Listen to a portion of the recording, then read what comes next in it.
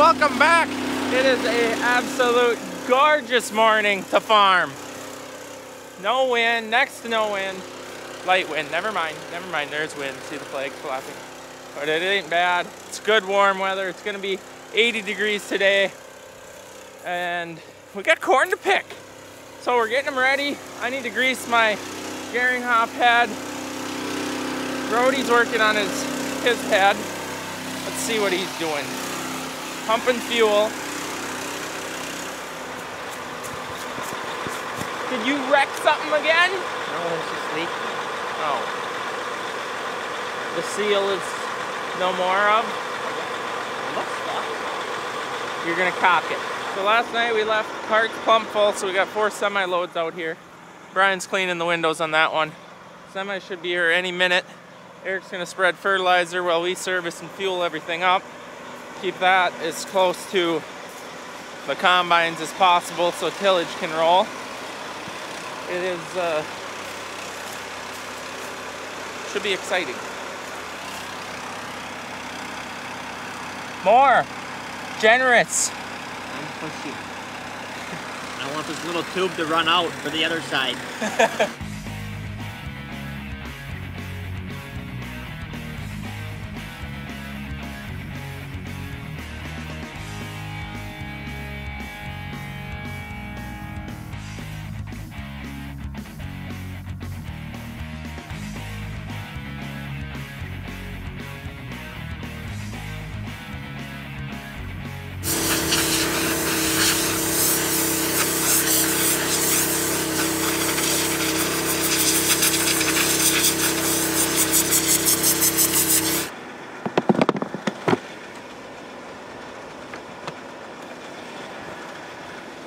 Isn't that just an amazing sunrise?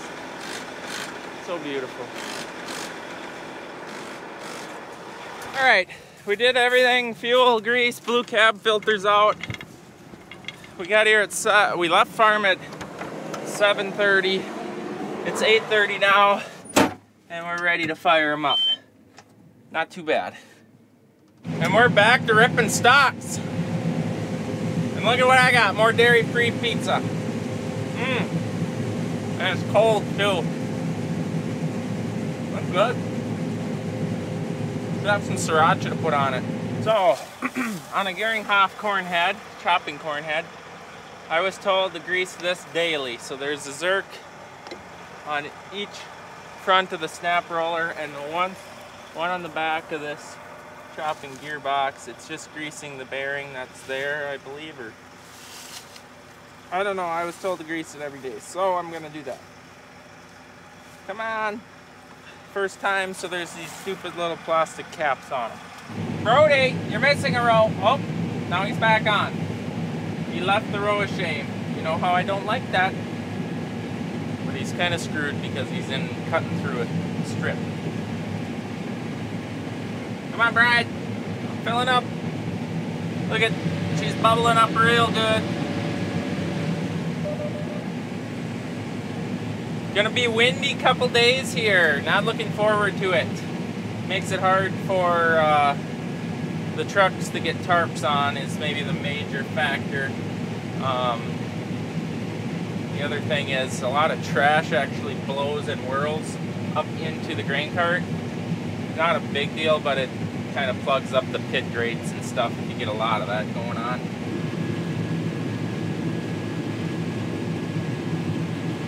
Well, right here to the right is the grove that we took out this summer. The pile's still there. We didn't want to burn it with the crop there because it would have killed the neighbor's crop and some of our own.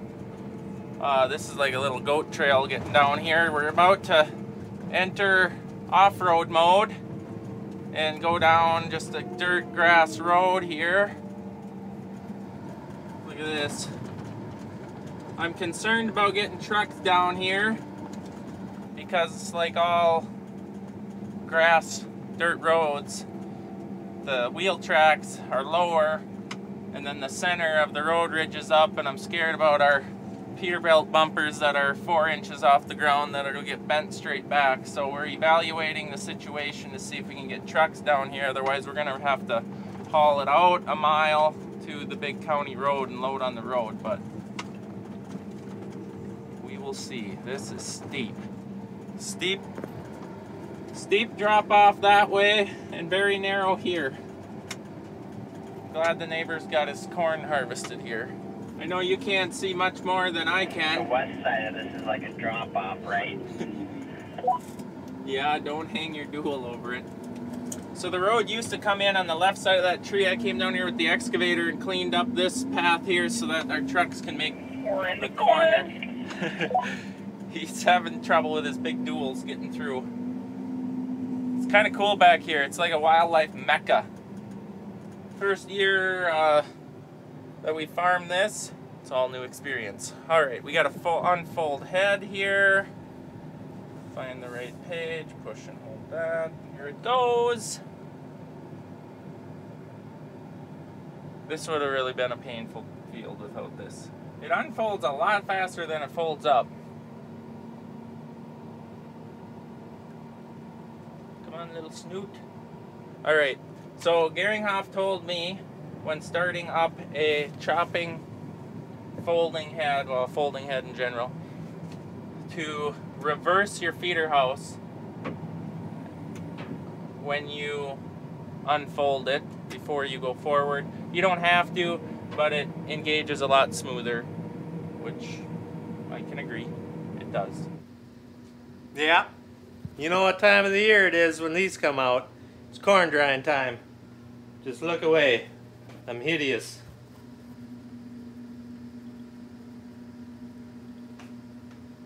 Yeah. Okay, we're gonna do a sample of the corn. I always like watching it. Gotta watch it, otherwise it don't work properly. You know how that goes. Okay, we got we're combining out west of the farm a few miles down the road and I am trying to set the corn dryers. We've got the new fancy dancy dryer master doing its thing and um, that seems to be working good which why wouldn't it? It's electronic. It always works, right? Electro electrical stuff never gets trouble. Okay, we got corn coming out of the field. 18% corn, so the dryers are not having to work too hard. They are uh, eating major bushels, 2,100 bushels, so now we're on that one. About the same on this one. But we've got a gas valve issue. I'm going outside to show you.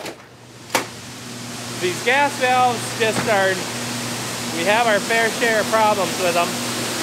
Uh, they get moisture inside, and then the automation, more electronics, corrode, quit working, you name it. But they, uh, they're, they're cheap. And I think uh, they got cheaper over winter. Uh-huh. They were $1,500 last year, and I'm sure they've gotten a lot cheaper. So it's this here dealy bob. I've uh, bought more of them than I care to remember. So we're just gonna barely move on that. I'm going for 160 degree temperature on the burner. This here arm here is supposed to move, which then makes the gas, increases gas or decreases it. And now you, you're never gonna see that, but I was trying to show you the, the flame. So, we got the guys called up to fix on that whenever they get out here. But they're busy like everybody. So now I gotta jump in a quad track and go test the Salford out. Bear with the wind. We're gonna run this thing a couple of couple of rounds out in the corn stalks, see what it does. Um, our 5200 is what we usually use in the corn stalks, which you guys remember. But this here 4200, we're gonna see what it can do. I'm not gonna hold my breath, but don't tell Salford that. I like my 5200. Okay, today it's supposed to get awfully windy. I mean like gusts of think uh, 30 and tomorrow maybe even worse. So that'll definitely help dry the corn down because today I believe it's also supposed to be 80 degrees. So actually it'll be like a big furnace just cooking that corn and uh, well, it'll be good to dry it down but Oh, there's the 5200. But nobody likes trying to put a tarp on a semi in the wind, so we'll be maybe trying to find certain fields that we have groves around, tree tree claims that we can hide behind and roll the tarp on. Not good. T-post in the snap roller. Dougo. Dougo. Planto over T-post. That's jammed. Mm -hmm. We're gonna need a torch to cut that out. Yep. So we can break it off.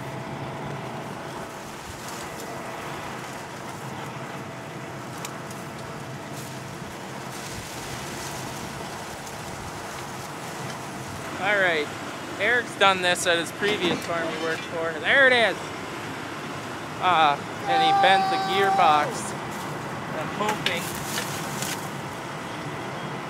hoping that uh, that ain't the case. But she took some good chunks out of that pole. Never mark your fields with people. Ever. I think it's fine, Brody.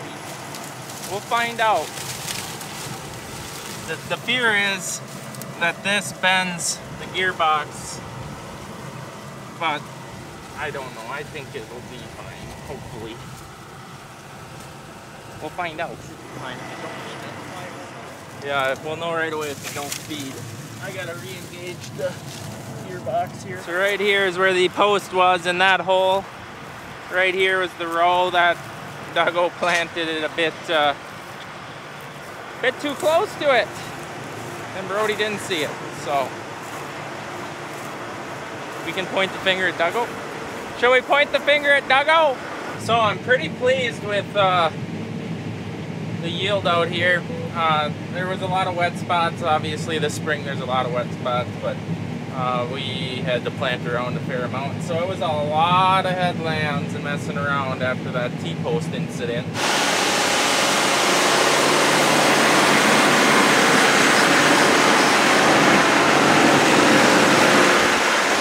What we call, uh, we got to get to the next field and we need an empty cart. Dumping into each other.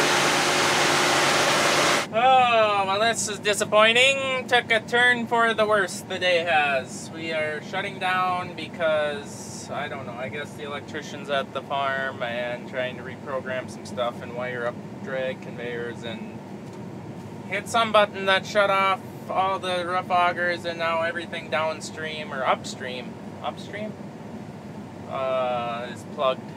So dad needs help and he can't dump grain. So is what it is. Well, actually it wasn't too bad. It was just that leg that uh, was plugged. I was informed that a lot of other stuff was plugged, but thank God it wasn't or we would have got nothing more done today. So we're good to get back in the truck and head back down there. Well, that's positive. It started. Okay, I stopped on the edge of where uh, we were unable to plant this, I don't know, acre, acre and a half spot because it was just too wet. You can see that I am way too deep with the implement to be out in conditions like this.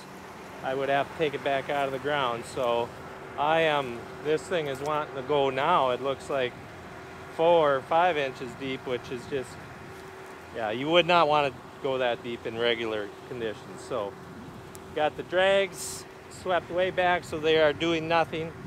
Baskets are up. We did not use the baskets at all this year because we wanted our soybean stubble to have a little bit of a ridge uh, to it so it dries out better in the springtime. Uh, here, here you go.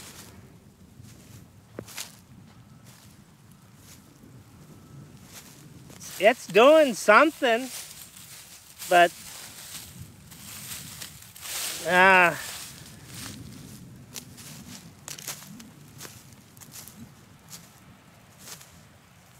I don't know. I just you have to see it for your own self, but uh, I think I'm going home to get the 5200. Every piece of equipment is designed to do something different. This one, I like it in bean ground. Now we did pick up a couple of rains this year through fall and uh, this thing definitely turned it a lot darker, blacker ground after the rain. There again, it just was able to bite in better. So if we'd have known on a few of them fields, I think we would have would have tried to wait for rain, but you that's usually a bad thing when you wait because it usually rains too much.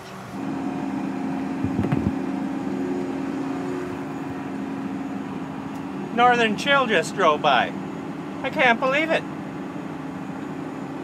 Usually there's two, three of them. Just one today. Huh. Here's the hydrating. I'll be darned. Look at here. Drink up, boys. Okay, we just got the 5200 hooked up. It's getting warm. We got, uh, oh, that can't be right. Now, yeah, 78 degrees so far. But it's still climbing. Look both ways.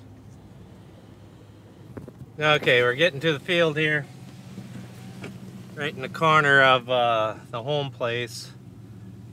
Gonna have to set the depth.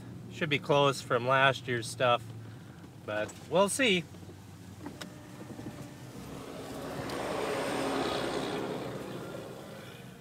I should be hauling too, but I'll be right back guys. Just gotta set this thing up.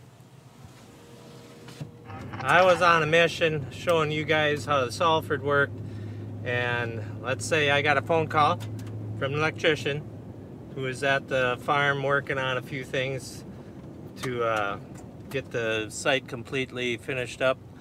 And well accidentally shut off the top roof auger. Yeah I looked both ways. Um, which then plugged up the spout going up to the top of the grain leg which then started back legging the grain in the grain leg. And well it, it, it safetied out everything but I had to call up Chet. Combiners had come home help me get stuff going. Now the phone's ringing. So one minute I was gonna take you out and show you the 5200 because we've been working on that now trying to get it going. I'll be back. Okay off the phone. Um, the blackbirds it's that time of the year where the blackbirds are all herded up in big flocks flying around. You Gotta see it to believe it. They can really group up. Okay, we're gonna, oh boy, that's rough. Here we go. Gonna go chase them down.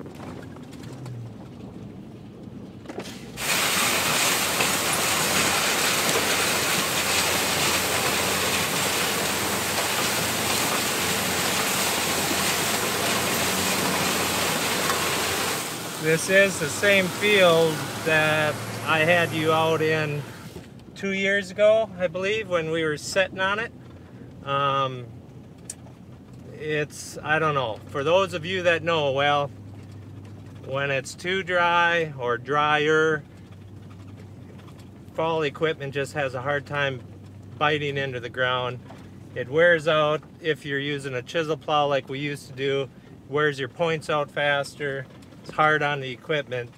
And uh, the coulters have a harder time getting down through the soil, especially with the wings. We actually had to add, they told us to add 300 pounds of weights to the wings.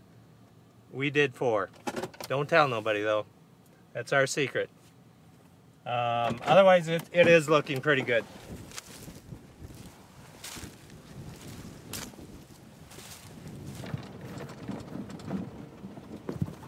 So as you can tell, it's gotten cloudy. We've been waiting. We knew it was coming.